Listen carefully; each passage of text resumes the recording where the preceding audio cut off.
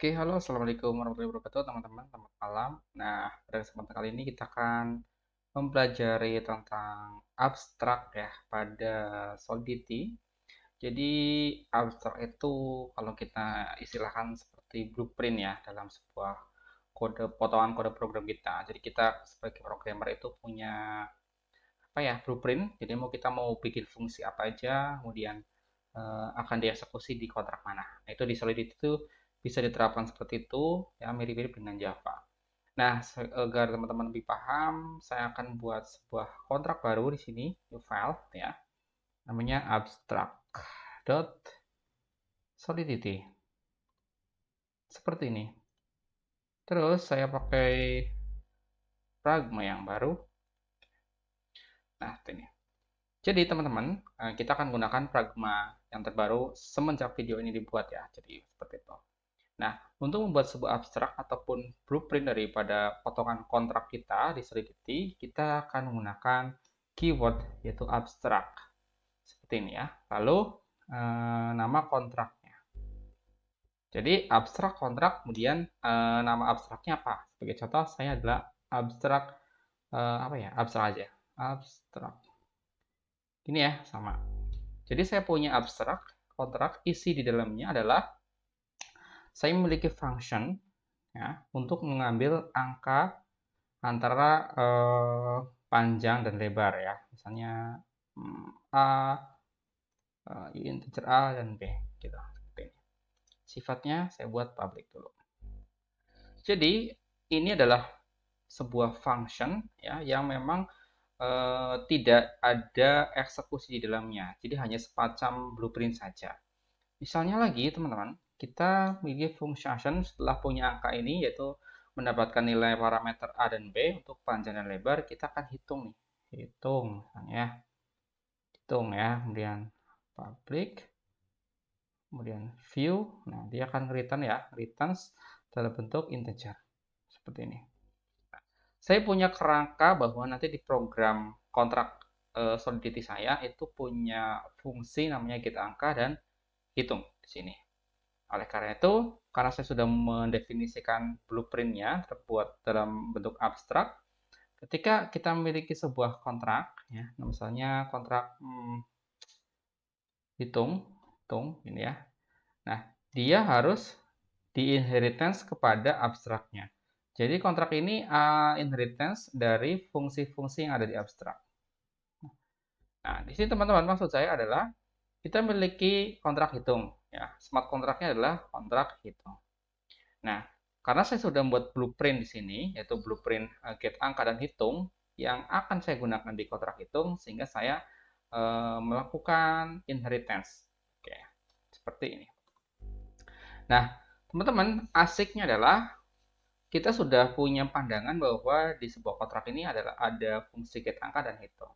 Sehingga kita bisa tampung sementara gitu ya untuk uh, panjangnya yang saya simpan di state-nya, lalu panjang, lalu di lebarnya di state ya. Jadi uh, di state ini simpan secara permanen. Nah, sekarang saya akan jalankan function get angka dulu. Oke. Okay. Integer A lalu integer B. Gini ya, nah, public. Oke. Okay di mana uh, panjang sekarang adalah A ya di sini. A lalu lebarnya adalah B. Gini ya. Seperti itu. Lalu saya juga akan menjalankan di sini fungsi get angkanya sudah saya implementasikan.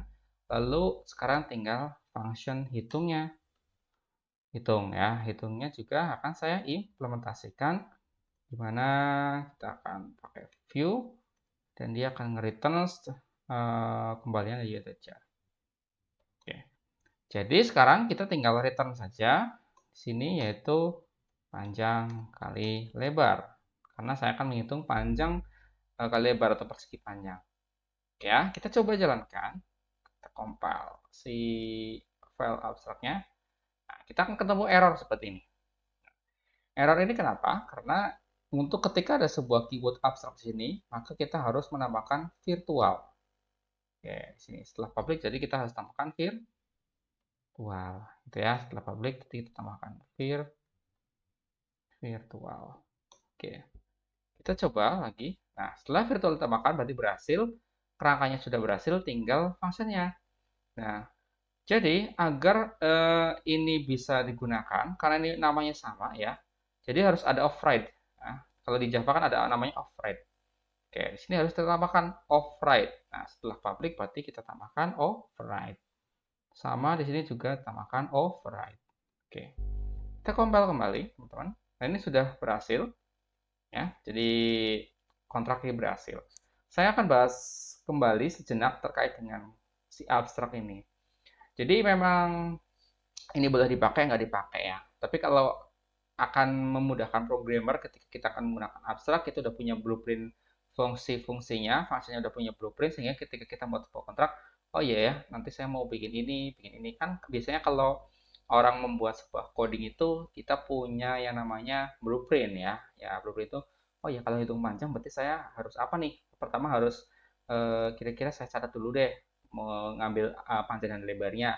Lalu saya hitung dari panjang kali lebar nah itu kan pandangan pandangan-pandangan seperti itu bisa dia ke blueprint sehingga ketika kita ingin mengimplementasikan sebuah kontrak kita sudah punya fungsi-fungsi sebagai gambaran kita Nah, begitulah cara menggunakan abstrak setelah setelah kita compile, kita eksekusi. Nah, di sini pada akun kedua ya sini saya akan hitungnya saya akan deploy sini. Ini berhasil ya, sudah. Jadi pas di get angka ini uh, dia diminta parameter untuk menginputkan ang angka A dan angka B ya, A dan B.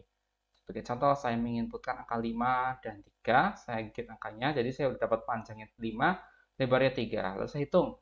Nah, hasilnya 15. Kenapa 15? Karena di sini ada panjang kali lebar. Gitu ya, teman-teman. Itulah uh, penjelasan singkat tentang abstrak ya. Jadi ini akan memudahkan teman-teman ketika memiliki sebuah uh, blueprint dari sebuah kontrak. Oke, dari saya rasa cukup untuk penjelasan tentang abstrak. Sampai jumpa di seri tutorial Solidity berikutnya. Terima kasih.